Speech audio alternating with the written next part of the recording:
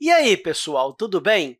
Nessa aula, nós vamos ver uma introdução a respeito da forma canônica da equação do segundo grau. Pode não parecer, mas essas três equações elas representam a mesma coisa. A diferença é que elas estão em formas diferentes. Essa primeira é a forma normal, que já estamos acostumados. Essa segunda é a forma fatorada. E essa terceira aqui é a forma que vamos focar nesse vídeo. Essa é o que chamamos de forma canônica, mas, claro, eu não vou focar nesse vídeo em como você chega em cada uma dessas formas, tá? O que eu quero mostrar para vocês é o porquê nós chamamos isso de forma canônica ou também de forma de vértice. Vamos começar lembrando o que é um vértice. Você provavelmente deve lembrar de outros vídeos que o gráfico de uma função quadrática é uma parábola. E essa parábola ela pode ter concavidade para cima ou para baixo. Nesse caso aqui em particular, a concavidade vai ser para cima. Vai ser algo mais ou menos assim. E esse ponto aqui é o vértice, que, nesse caso, é o ponto mínimo. E esse vértice tem uma coordenada x bem aqui e uma coordenada y aqui. É o que chamamos de x do vértice e y do vértice. E o motivo de chamarmos de forma canônica ou forma do vértice é que podemos descobrir esse vértice aqui olhando apenas para essa equação. E como podemos fazer isso? Bem, deixa eu reescrever a equação aqui. Então, nós temos que y é igual a 3 vezes x mais 2 ao quadrado menos 27. E uma coisa interessante a se saber é que essa parte aqui sempre vai ser positiva, porque esse x mais 2 ele está elevado ao quadrado, e todo número elevado ao quadrado dá positivo. E como isso aqui também é positivo, toda essa parte aqui vai ser positiva, ou seja, vai ser maior ou igual a zero. Isso porque, se dois números positivos estão se multiplicando, o resultado tem que dar um número positivo.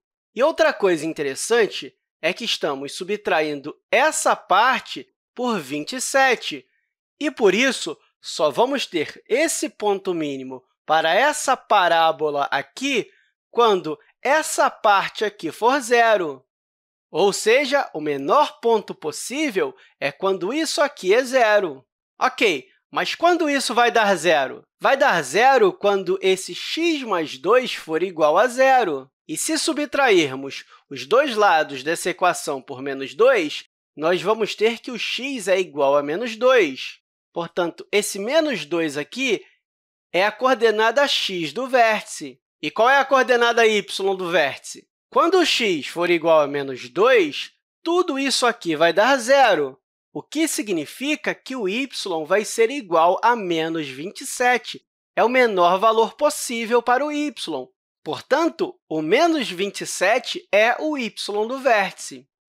Portanto, a coordenada do vértice é menos 2 menos 27. E o interessante dessa forma canônica é que você pode descobrir o vértice somente olhando para a equação. É por isso que chamamos de forma canônica, ou forma do vértice. Vamos olhar mais um exemplo aqui para fixar isso bem? Vamos ver o caso aqui onde a concavidade da parábola é voltada para baixo? Então, vamos dizer que nós temos aqui y igual a menos 2, que multiplica x menos 5 ao quadrado mais 10. E olhando para essa equação, observe que essa parte aqui sempre vai ser positiva, porque todo número elevado ao quadrado dá positivo, mas tem um menos 2 aqui multiplicando ela. Por isso, tudo isso aqui vai ser menor ou igual a zero. E se isso aqui for zero, só vai restar o mais 10, não é? Mas como poderíamos descobrir o ponto máximo? Ponto máximo só vai ser atingido quando tudo isso aqui for zero, isso porque não vamos estar tirando nada desse mais 10 aqui. E, claro, essa parte só vai ser zero quando esse x menos 5 for igual a zero. Então, x menos 5 igual a zero, significa que o x é igual a 5. Essa aqui é a coordenada x do vértice. E qual é a coordenada y? Se isso aqui tudo for zero, só vai restar o 10, não é?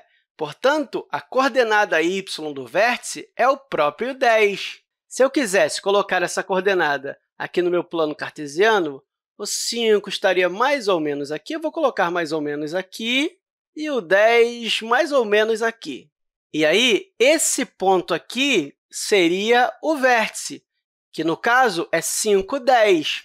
E, com isso, a nossa parábola com concavidade para cima vai estar mais ou menos aqui, mas, claro, eu não sei exatamente onde estão as raízes, né? Eu só estou representando aqui mesmo para mostrar a parábola para vocês. E esse aqui seria o eixo x e esse o eixo y. Vamos ver um último exemplo, só para ver se você fixou bem isso. Digamos que eu tenha aqui y igual a menos π, que multiplica x menos 2,8 ao quadrado mais 7,1. Qual é o vértice dessa parábola? O x do vértice vai ser o valor que torna isso aqui zero, que, no caso, é o próprio 2,8. Então, o x do vértice é 2,8. E quando isso aqui for zero, esse aqui vai ser o y do vértice, que, no caso, é 7,1. Então, agora que você conhece a forma canônica da equação do segundo grau, fica bem fácil de determinar o vértice quando você tem essa forma aqui, né? E eu espero que essa aula tenha te ajudado e até a próxima, pessoal!